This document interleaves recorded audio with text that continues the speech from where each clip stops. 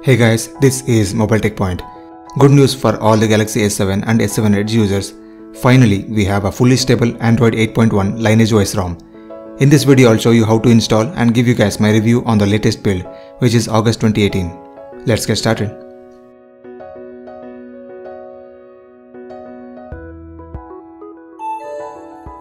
Before we start, you need to have a rooted phone with TWRP recovery installed.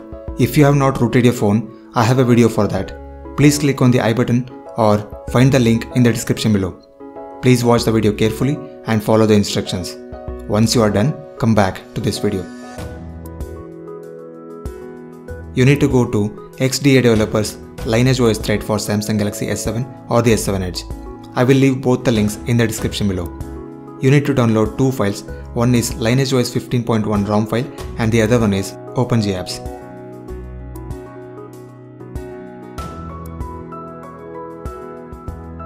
Both the files are zip files which you are going to flash in TWRP recovery.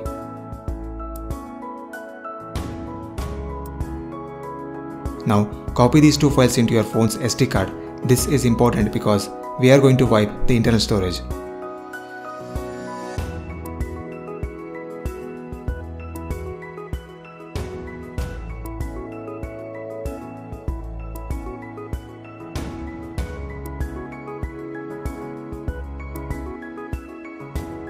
Lineage OS ROMs are not pre-rooted, so we need to flash Magisk manually after the ROM. Let's download Magisk in a zip file and keep the file ready in our SD card.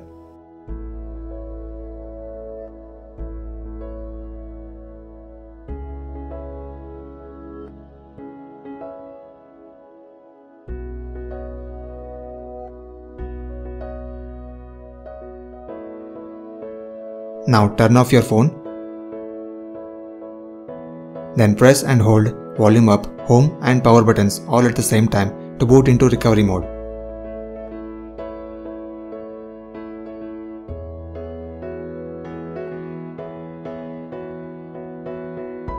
Once you are in TWRP recovery, click on Wipe, Format Data and type Yes to erase internal storage.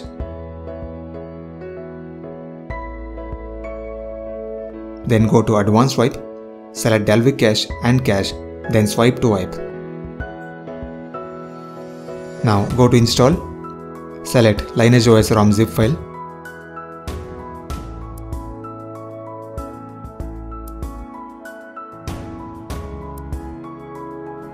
then click on add more zip and select OpenGApps zip file. Then swipe to flash.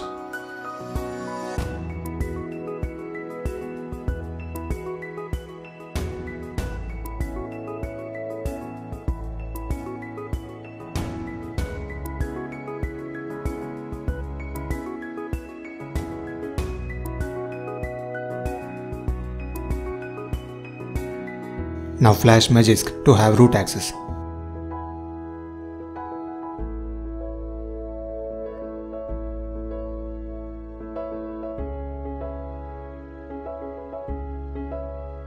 Once the flashing has been done, click on Reboot System.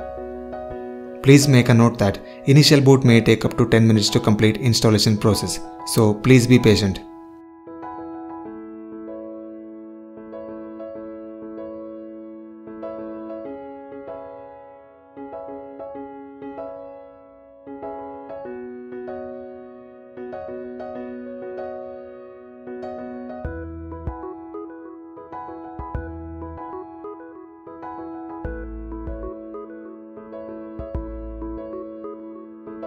I have been using this ROM on my Galaxy S7 from past one week and I have noticed that animations feel a lot smoother compared to the previous builds.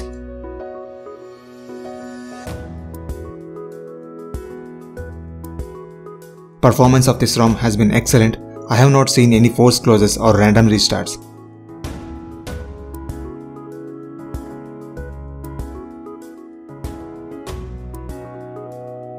Battery performance is as good as a stock ROM if not better. I was able to end my day with 35 to 40% of the battery still left. Previous builds had an issue with live display and color calibration. As a result, the screen would get a yellow tint like this. But in this build, the issue has been sorted out and we have an option to change the settings in the display mode. Personally, I always prefer the day mode. In advanced display, you can change your theme to light or dark.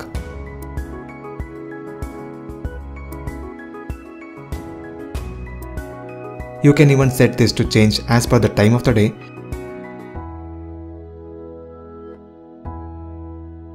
or even let your wallpaper change the style for you.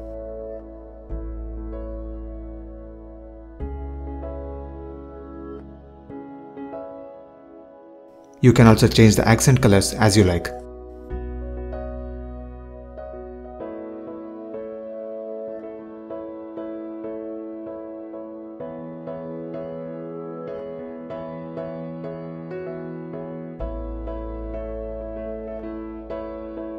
On the downside, Lineage OS does not have the fancy customizations that a Resurrection Remix ROM come with.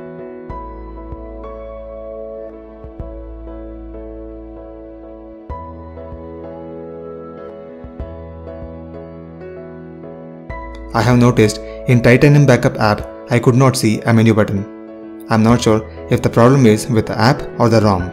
If you face the same problem with any other app, we have a workaround. Go to settings click on buttons, then go to recent button and assign open or close menu to long press action.